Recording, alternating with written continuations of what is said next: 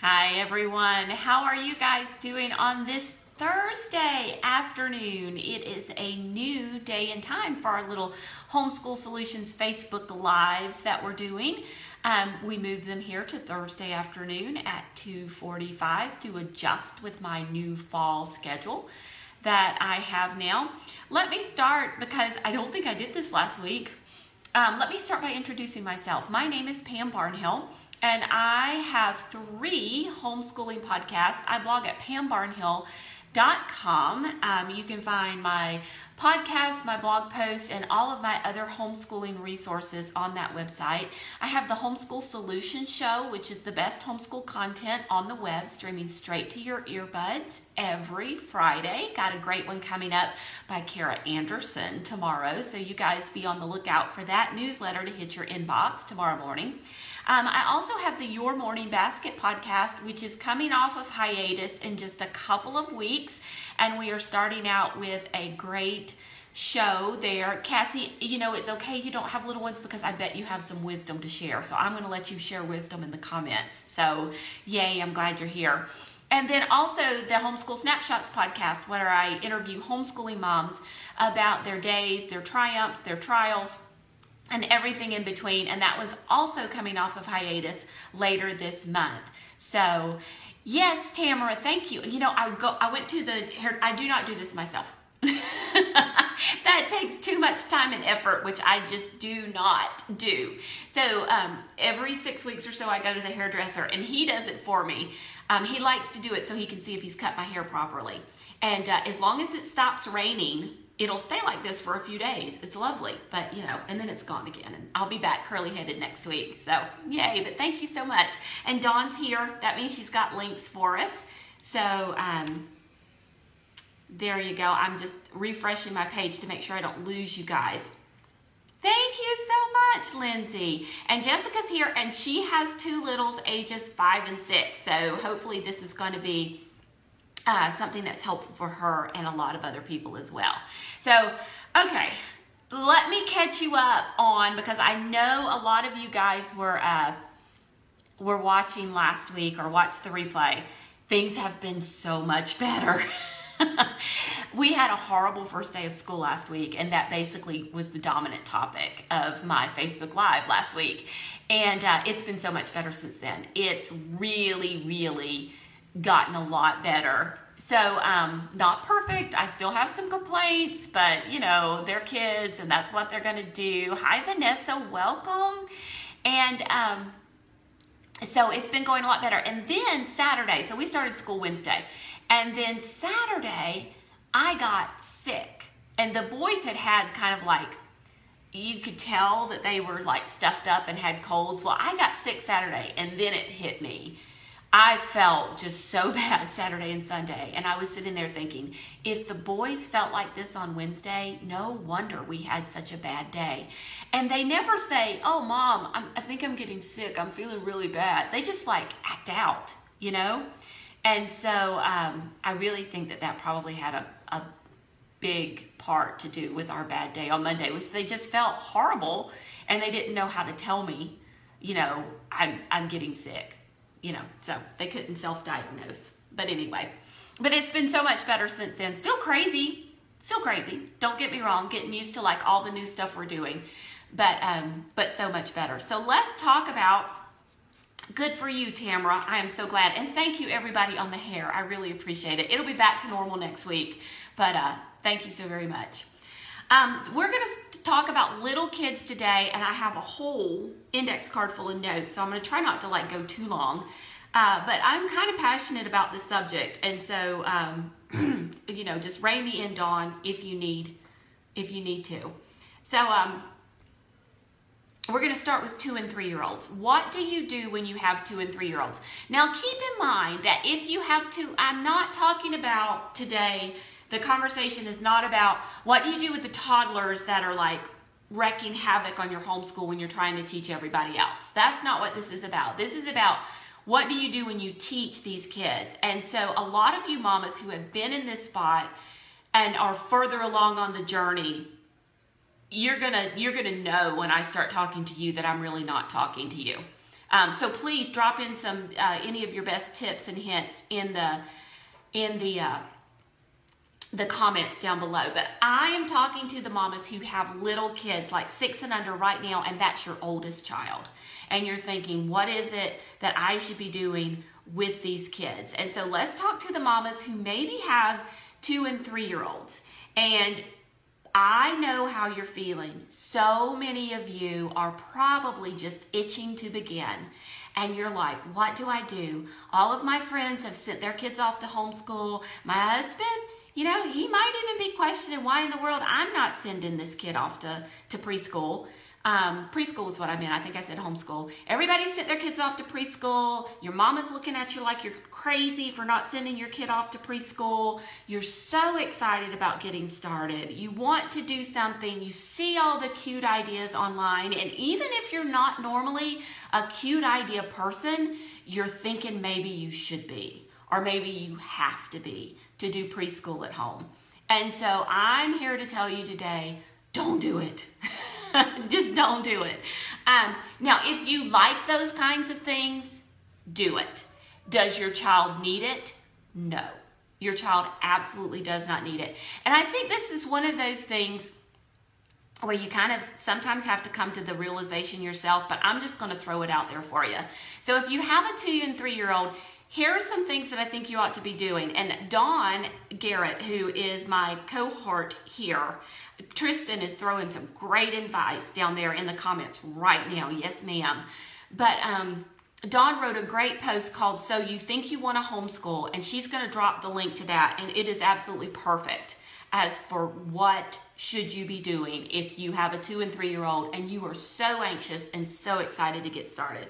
So first of all, just to maybe feed some of this need that you have. You know you're going to homeschool and you want to feed this need. You can start reading some books. And some books that I would recommend that you start with are For the Children's Sake by Susan Schaefer Macaulay. That would be a great place to start. Also, the very new book, Mere Motherhood by Cindy Rollins. It's a memoir. It's not a how-to book, but I think you will gain such valuable insights from that book. And you can find that one at meremotherhood.com. Dawn's going to start drinking, uh, dropping some links for us. Another really good book that you can read if you have very young children, you know you want to homeschool and you're like, I want to study ahead. You could read Educating the Wholehearted Child by um, Sally and Clay Clarkson. Now, I want to point out, I love that book. It's, it's, it's very good for type A personalities. Non-type A personalities might get a little overwhelmed by it, but type A personalities are going to absolutely love it. So read that book. They've got just this wonderful pairing of inspirational stuff about a literature based homeschool and also really practical, step by step, hands on things as well. So, those are three books that you could start reading when your child is two to three years old and you're just dying to get started with, you know, what can I do to prepare myself? This is what you can do. So, that's the first thing. The second thing you really should be doing, and if I could go back and do it all over again, this is what I would be doing. I would be continuing my own education. I would be getting ready for these later years, and I would be doing that by reading good books, reading novels, read Jane Austen, read Wendell Berry, read Charles Dickens, uh, and then you can get into some of the harder stuff if you want to. Read Shakespeare, but read those kinds of things and fill your own cup, fill yourself up with beautiful language, and get yourself prepared to be able to go back later and, uh, and, and kind of impart this knowledge to your, your children. You're not going to have that time later, so do it now. Um, while your children are little, poems are a very good uh, place to start as well. Read lots of poetry and kind of work on your own education. So those are some things mama can read. And then the, what can you do specifically with your children? So with your children, you're going to work want to work on habit training. Um, you're going to want that little two and three year old to be helpful and to be obedient and to have a few little chores that they do that make them feel important every day. Slow down what you're doing. Instead of taking and spending three hours of your day doing preschool, take that extra time instead and slow down everything else you're doing in your life and include them with you. Let them help you with the sweeping. Let them help you with the cooking. Let them crawl up in your lap and talk about things. You don't need to teach them colors. You don't need to teach them days of the week. You don't need to do anything like that. You just need to talk about those things. Today is Monday, we're going to go see Grandma on Wednesday. That's two days from now. So tomorrow's Tuesday and the next day's Wednesday, and then we're going to go see Grandma. And if you do that enough, if you give them enough things to look forward to, they're going to get all of that stuff without having to have a calendar time. Um, you know, talk about the colors, talk about the letters as you see them. You're going, you know, you're going to the grocery store. Look, it's a big P for Publix. P says Publix. That's the kind of stuff you do, and you never have to sit down and do a worksheet of any kind whatsoever with your two to three year old. So live your life and then read to them lots and lots and lots of appropriate picture books. Um, your two and three year old does not need novels. They don't even need things like My Father's Dragon or Charlotte's Web or Winnie the Pooh, which honestly, you don't start getting the humor in Winnie the Pooh typically until you're eight or nine years old at least. So, um, read to them picture books and enjoy those picture books. And if you want something gentle to do with them, I highly recommend Before Five in a Row. Um, but Before Five in a Row, as it's written in the book, not the 50 bazillion other things that people add to it online. And I had a great conversation with uh, Jane Lambert, the creator of Before Five in a Row and Five in a Row, which I'm going to talk about in just a few minutes on one of the podcasts. And Jane, um, Dawn is going to drop the link for you there on one of the Homeschool Snapshots podcasts. So do five in a row. Don't, yes, Meg, thank you. Don't Pinterest before five in a row. Just do it like it's written in the book and that it will, it will be wonderful. So that's your two and, two and three year old. So now let's kind of move on to your four year old. What can you do uh, with your four year old? And I would suggest this is a point where if you've started before five, five in a row, you would continue it. You would definitely continue reading, reading, reading, reading, reading picture books to these children. Um, so lots and lots of picture books, lots of as much reading as they will sit and tolerate, or as much reading as they will move around the room and tolerate. Play with Legos and tolerate. Play with baby dolls and tolerate. Color in coloring books or just on blank white paper and tolerate. They're doing all of that stuff and you're reading to them and you're giving them the best education. Um, then as we get a little closer, maybe a little further along into the, the fourth, the four-year-old year, if you would like to start something else, I do have some recommendations for you.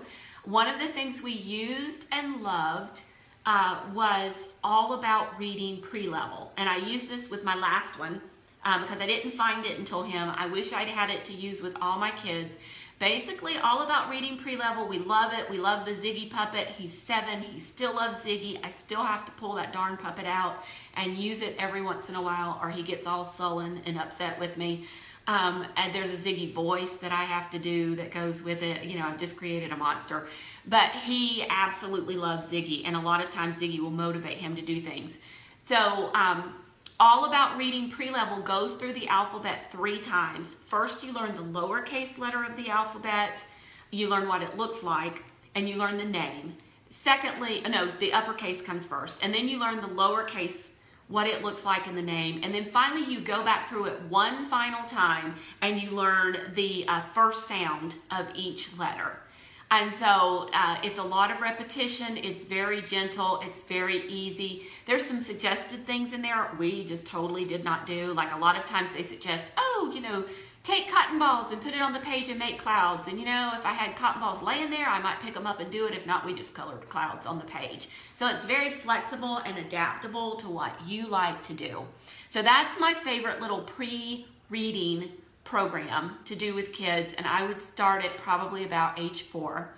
Um, Preschool Math at Home by Kate Snow is a really good book for this age group, and um, she talks you through and walks you through different activities to do with their with your, your preschooler to build their mathematical understanding. Kate Snow was a guest on the Your Morning Basket podcast, and you can also um, get that book on Amazon.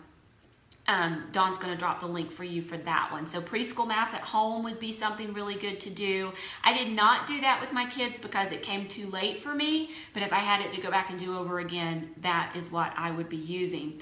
And then continue working on those habits that you've been working on as well in your children. You know, pick up everything because they're now four, you know, take it a little notch higher and, and work on that obedience and those really good habits. So that's age four. Now, along about this age is a really great time to start a morning time because if you have a four year old as your oldest, you probably have a two year old or a one year old or something like that um, tagging along behind, which is great. And morning time is a very good thing to introduce when your kids are this age. In fact, Cindy Rollins started morning time with her kids uh, when her oldest was four years old, about 28, 29 years ago. And so I actually did a podcast with Celeste from Joyous Lessons, and um, we talked all about how to do morning time when all of your kids are like six and under. So Dawn is going to drop the link for that one for you there. And basically, Celeste would start um, when they were at breakfast. And so that's a wonderful time to start a morning time. And then I have a post called Morning Time for All Ages where I have some really good suggestions on what to do with your kids. And the most important thing is to keep it age appropriate. You don't want your morning time for your six and under crowd to look like the morning time the mama down the street is doing for her 9, 10, 11 year olds. You don't want to be memorizing the Nicene Creed. You don't want to be memorizing the speech from Henry IV. You don't want to be singing um, these big long hymns. You know, children's songs are fine, nursery rhymes are great. Um, if you're going to do hymns, do the ones that they're most familiar with and singing in church often. Um, just a little bit from a children's story Bible, some picture books, marching around the room and singing, finger plays, those kinds of things are all perfect for a little kid morning time. And that's the time that you want to start building that habit, starting your day with prayer. Oh, um, I think it's called Lessons for Little Ones is his name Davis? Dawn, I didn't send you this link, uh, but it's an ABC book. It's like a little devotional for little bitty kids. Tamara, yes, my book house, the in the nursery and the book two as well, which of course I can't remember the name of right now. Those are both great for that uh, little bitty age group. I'm going to get to that, Jessica. Um, and this is a great place. So let me stop and talk about this. What if you have all age children? Jessica's asking 16, 14, 12, 6, and 5. Um, well, my little guy, he didn't get as much little guy stuff as the big guys did when they were little. He really just started tagging along. So he would sit, thank you, Sarah, up one pair of stairs he would sit in on our morning time for as long as he could tolerate, and then I would just kind of shoo him off and let him go. So he would get what he could. And then when he got to be, I didn't do anything with him when he was four. Not a darn thing. I just tried to keep him out of our hair. So he basically got in on morning time and reading aloud time as much as he could tolerate, and then uh, off he went. And, and that was fine. And um, and then once he got to be five, we started doing five year old stuff.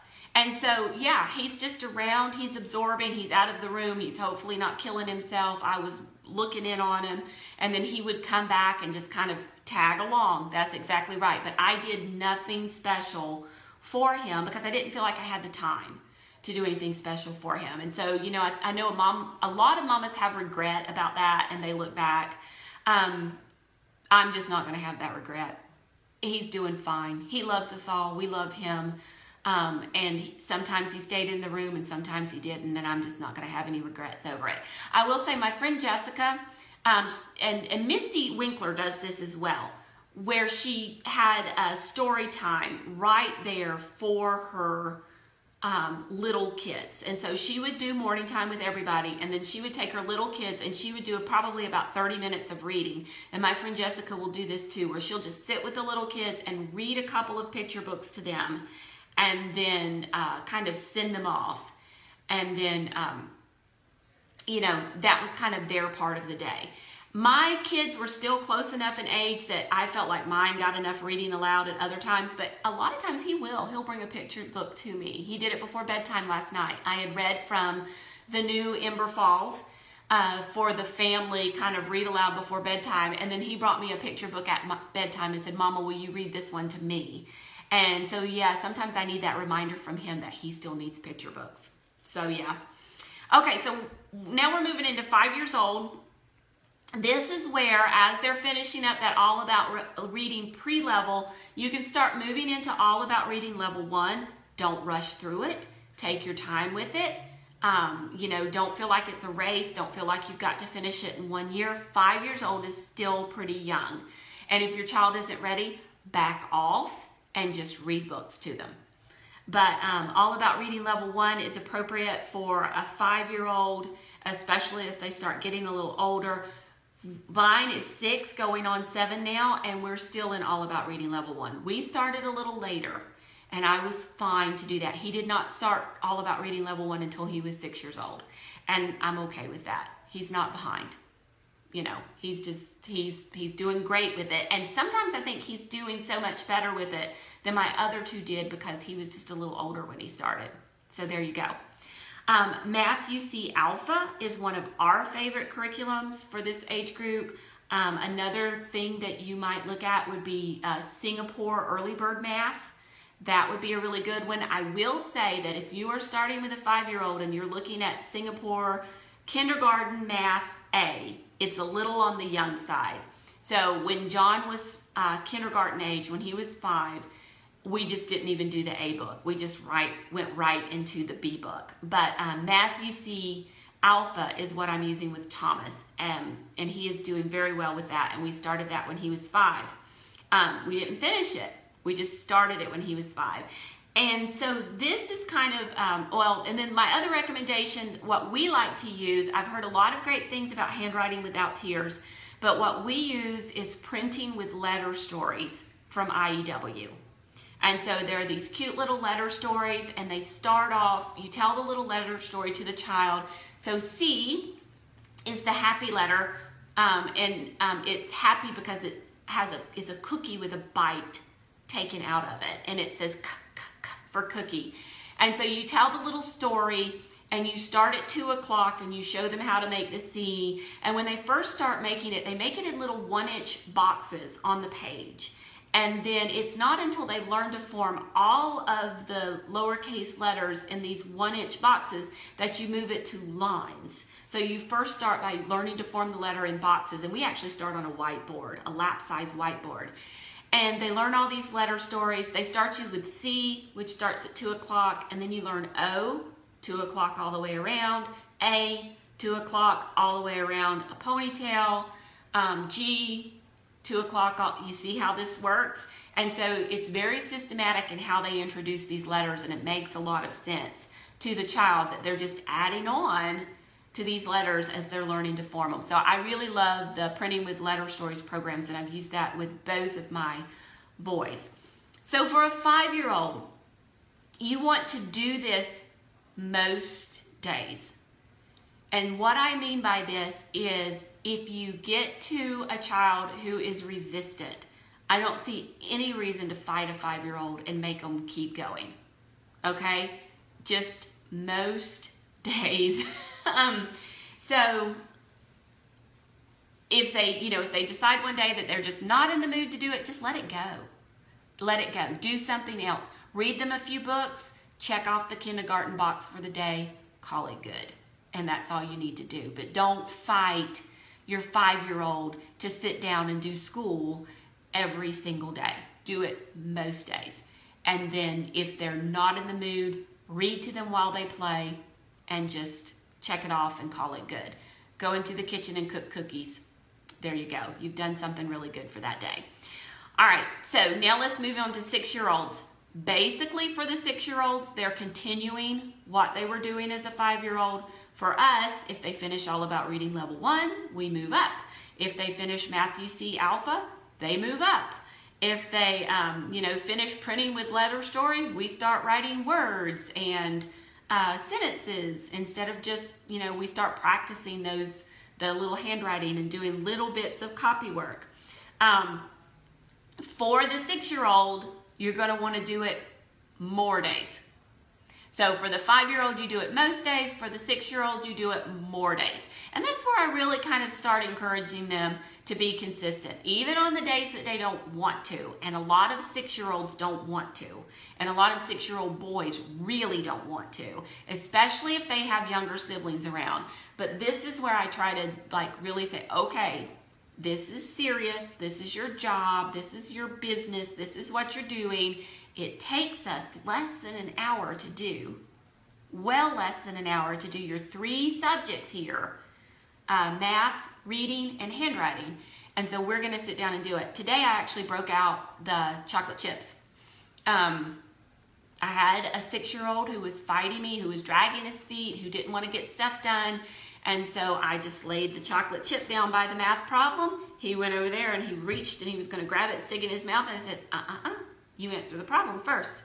So he wrote down the answer, chocolate chip in his mouth, another chocolate chip by the next problem. And so it took me about mm, 15 chocolate chips to get him through the day, but um, we got through it in record time.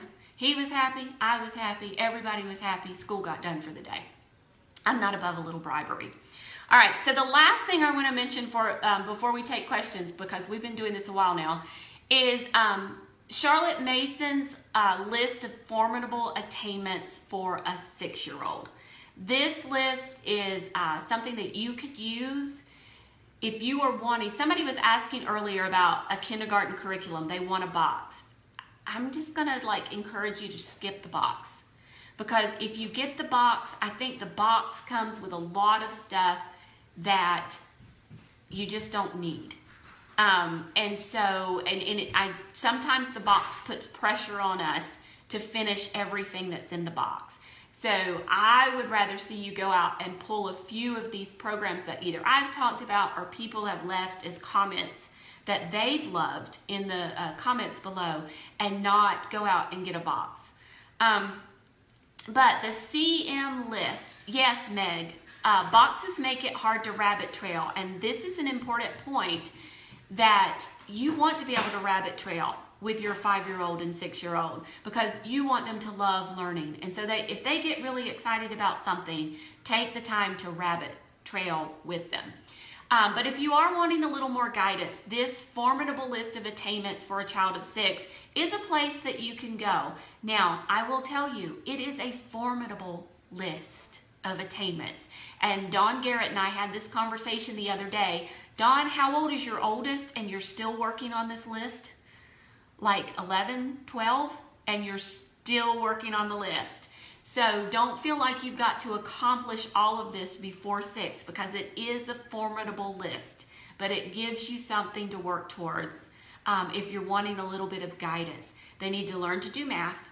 They need to learn to read. They need to learn to write. And then they, you know, the things on this list um, is a really good place to start. So um, questions. Do you have questions about anything?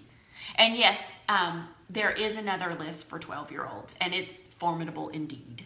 So I need to pull that six year old list back up and look at it, and let's start working towards it because I know we don't know, I know we haven't done all of it, though we've probably gotten a lot closer over the past few years um, than we were before. So, anybody have any questions before I sign off? Because we've been on here a long time talking about little kids. I hope it's been helpful to you. And the links are a gold mine. The comments are uh, a gold mine down here. What age are you introducing cursive? I wish I had done cursive first, and I did not. Um, and then, so one of my little guys, my littlest guy, he's in co-op with all of these kids who are doing uh, a spell to read and write or something like that, and they do cursive first. So all the kids in his class can write cursive except for him.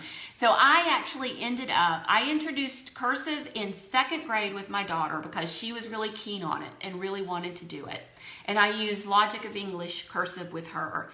And then um, my middle son ha- is just not great fine motor wise. I wish I'd started cursive with him, but I didn't want to like throw it in with him when I was wanting to cement the printing.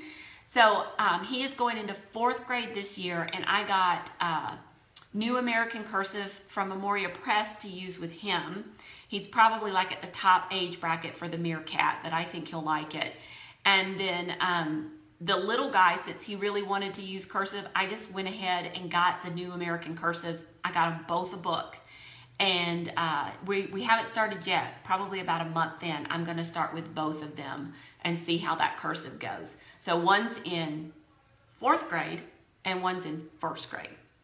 Um, and then I started my daughter in second grade. So really kind of like all over the map with the cursive. It depends on the child. There's my answer. Um, all right, favorite programs for nature study. Dawn, what is it? Exploring nature with children. The one, the nice lady who does the, uh, oh, Lynn, I think is her name, and I'm probably getting this wrong. Um, we can drop the link for you for the nature study. Uh, that one is a good one because it goes all around the year. And then Cindy West at Shining Dawn Books has other nature study. Those are a little thicker and more in depth uh, if you're really wanting to dig into some nature study. And she has books and poetry recommendations, all kinds of great things in those. And she has a preschool nature study book too, if you have little ones. So, um, see, I'm trying to scroll through and see if I missed any questions. Oh, good. So, New American Cursive, you're liking that one, Kelly. Continuing with five in a row when they are five and six. Yes, if I didn't say that, I meant to. Um, I did not because we moved on to, well, no, I did. I, we stopped five in a row when my oldest was six. I didn't do it with my little guy. Totally. I think five in a row is wonderful for five and six year olds. Do it like it's written in the guide. Don't feel like you've got to Pinterest it and add all of that other stuff. Um, it, you know, if your personality can look online and add one or two things, do it. If your personality looks online and starts feeling really guilty that you're not doing all that other stuff that other mama's doing, stay off of online and just use the manual. The manual is enough. So, does the book allow for boys who do not have a lot of motor skills? Which book is that? Would that be uh, the cursive book we were talking about, or um, or what's that? Oh. High school. Okay. My oldest is 11. So, uh, Dawn and I had a long conversation about this because I'm like, Dawn, I can't talk about high school. But I do have two qualifications. One, I used to teach high school, and two, I just helped put together the high school program for our co op. So, Jessica, I will be talking about high school next week. I will be throwing a lot of resources at you for you to go look at for other people's expertise, but I will share some things next week and I'll give you some resources. So, um, all right, yeah, and Dawn is just dropping all the really great links down here as well. So, any other questions that you have, put them down here. Dawn and I will be back. And um, Tristan, see, this is where I need to be able to like have you come on with me and we could both talk about high school together um, I could interview you about high school. It would be great. But um, but yeah, so come back next week. We're going to talk about high school 2:45 on Thursday afternoon Central Time. That's our new time. And any other questions that you have after this one, we'll grab down in the comments and help you out down there. So you guys have an awesome Thursday. Mom's night out tonight. Going to celebrate my mother's birthday, and um, I will catch you next week. So have fun.